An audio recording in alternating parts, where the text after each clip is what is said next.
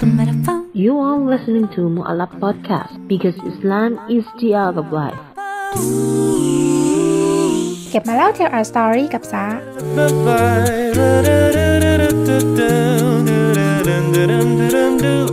สวัสดีค่ะ คุณกำลังฟังเก็บมาเล่า Tell A Story วันนี้นะคะซาก็มีเนื้อหาจากหนังสือเรื่องไข่มุกแห่งวิทยาปัญญา เขียนโดยอุมุลคอย แปลโดยอาจารย์บรรจงบินกซันค่ะ เนื้อหาในเรื่องนะคะ ก็พูดถึงเรื่องของบนยอดภูเขาค่ะ วันนี้นะคะเราก็จะชวนกันมาท่องเที่ยวดูชีวิตย่อๆของคนดีๆ ที่เป็นแรงบันดาลใจให้กับเรานะคะ เขาเหล่านั้นก็ไม่ใช่ใครค่ะ เป็นเหล่าบรรดาสาวกของท่านนบีมุฮัมมัดที่เป็นที่รักของพวกเรา ในขณะที่พวกเขากำลังปีนขึ้นไปสู่ยอดเขาสูงด้วยความอดทน ก็ขอให้เราได้รู้รสชาติของความปรารถนาที่จะกระทำความดีของพวกเขาด้วยนะคะ เผื่อว่าเราจะมีแรงบันดาลใจที่จะทำความดีต่อไปค่ะ จุดแรกนะคะก็คือบิลานบินรอบะซัลมาฟาริซี อบูฮุรอยรอและสาวกผู้ยากจนคนอื่นๆ ของท่านนาบีมุฮัมมัด พวกเขาได้ไปหาท่านรอซูลนะคะ แล้วก็ได้รำพึงรำพันเกี่ยวกับคนรวยว่า คนที่มีทรัพย์สินได้รับตำแหน่งที่สูงที่สุด และสวรรค์อันยั่งยืนยาวจะเป็นของเขา ท่านรอซูลจึงถามเขาว่าจะเป็นไปได้อย่างไร พวกเขาจึงตอบว่า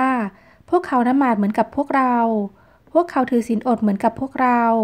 พวกเขาได้บริจาคทาน แต่เราไม่ได้บริจาคทาน พวกเขาปล่อยทาสให้เป็นอิสระได้ แต่เราไม่มีโอกาสที่จะปล่อยทาสได้เป็นอิสระ แล้วเราจะไปเทียบกับพวกเขาได้อย่างไร เมื่อได้ยินเช่นนั้น ท่านนบีมูฮัมมัดก็ได้กล่าวว่า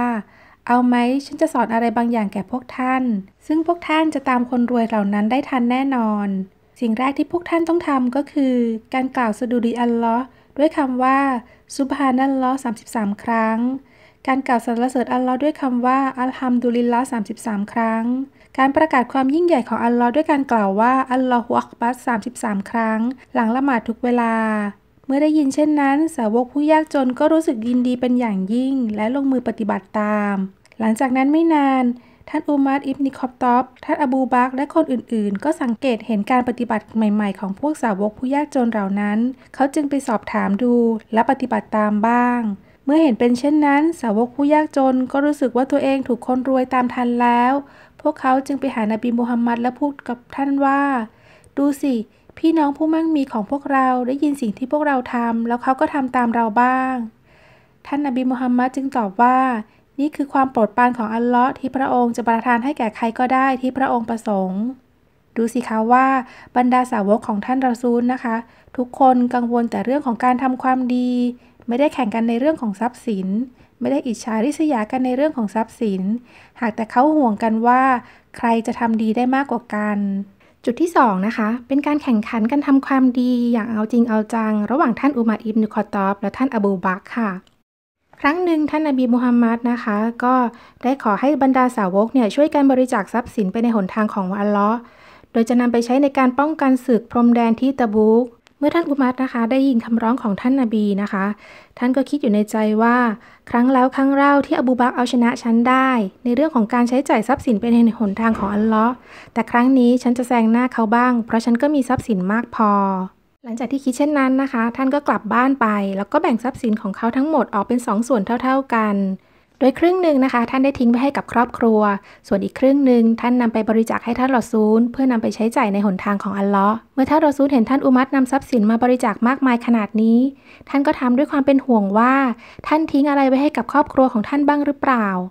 อุมัตตอบว่า มีทิ้งไว้ครับ ท่านอบีจึงถามว่าท่านทิ้งไว้เท่าไหร่ อุมัตจึงตอบว่าครึ่งหนึ่งพอดีครับ หลังจากนั้นสักพัก ท่านอบูบักก็ได้เข้ามานะคะ พร้อมกับทรัพย์สินของท่านที่นำมาบริจาคอย่างมากมาย ท่านรอซูลก็ถามว่า ท่านทิ้งอะไรไว้ให้กับครอบครัวบ้าง ท่านอบูบักจึงตอบว่า ฉันทิ้งอัลลอฮ์และรอซูลของพระองค์ไว้ให้กับพวกเขา นั่นหมายถึงว่าท่านอบูบักนำทรัพย์สินทั้งหมดของท่านมาบริจาคให้กับนบีมุฮัมมัด ตั้งแต่วันนั้นนะคะ ท่านอุมัดก็ยอมรับกับตัวเองว่า เขาไม่อาจจะหวังที่จะเอาชนะท่านอบูบักในเรื่องนี้ได้เลย ลองนึกถึงการใช้ทรัพย์สินทั้งหมด หรือสักครึ่งหนึ่งไปในหนทางของอัลลอฮ์เพียงแค่ช่วงระยะเวลาสั้นๆ ดูก็แล้วกันนะคะว่า ถ้าเป็นเราเราจะทำได้หรือเปล่า